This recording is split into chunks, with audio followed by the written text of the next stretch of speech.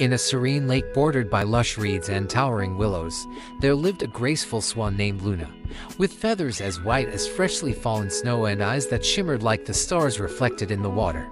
Luna glided across the surface of the lake with effortless elegance. One radiant morning, as the sun painted the sky in hues of pink and gold, Luna felt a stirring within her soul a call to surrender to the gentle currents of life and embrace the beauty of the present moment.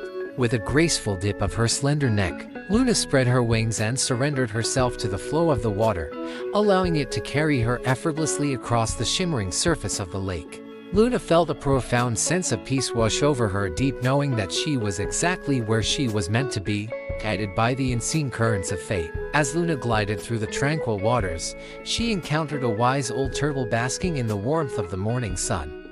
Intrigued by the turtle's serene presence, Luna approached him with a graceful bow. Greetings, wise one, Luna said, her voice as soft as the rustling reeds. I am Luna, the swan of the lake. Tell me, how do you find such peace amidst the chaos of the world? The turtle regarded Luna with a knowing smile, his ancient eyes reflecting the wisdom of ages past. Dear Luna, he said, true peace can only be found in the surrender to the flow of life to trust in the currents that guide us and embrace the beauty of each moment as it unfolds.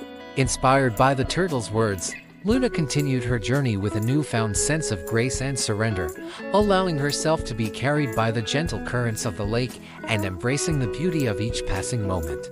As she glided across the water, Luna's heart overflowed with gratitude for the simple joys of life the warmth of the sun on her feathers, the soft caress of the breeze against her skin, and the shimmering dance of light upon the water's surface.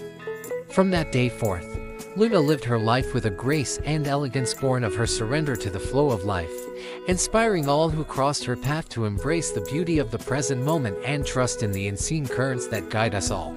And though the world around her may change and evolve, Luna knew that as long as she remained true to the rhythm of her heart and surrendered to the flow of life, she would continue to glide gracefully through the waters of destiny, forever guided by the grace of the swan.